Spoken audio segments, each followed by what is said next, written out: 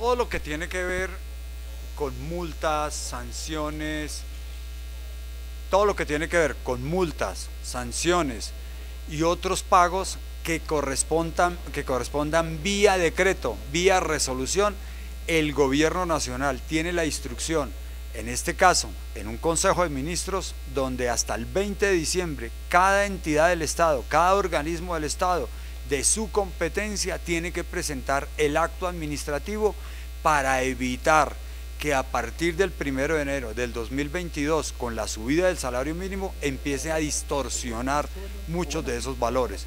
Esto, voy a colocar un solo ejemplo, los copagos en salud.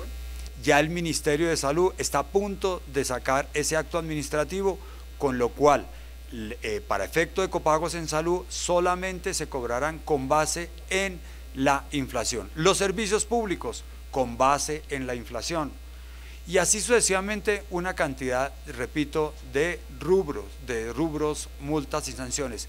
Tenemos que cambiar a la cultura que no solamente sea con base al salario mínimo, sino con la figura del artículo 49 del Plan Nacional de Desarrollo, que dice que todo tiene que ser con base a la UBT, Unidad de Valor Tributario, que es con base en la inflación.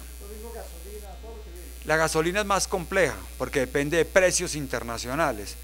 Por ejemplo, el SOAT tiene otras fórmulas, pero vamos a hacer todo lo posible para que no, esto no crezca con el valor del salario mínimo, sino que esas fórmulas, inclusive en el acuerdo que logramos con los empleadores y trabajadores, se dice que haremos el seguimiento permanente desde la comisión para enviar mensajes en estos tipos donde se discutan estos valores que sean con base a la inflación y no con base al salario mínimo.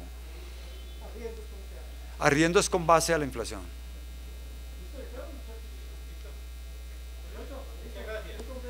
Bueno.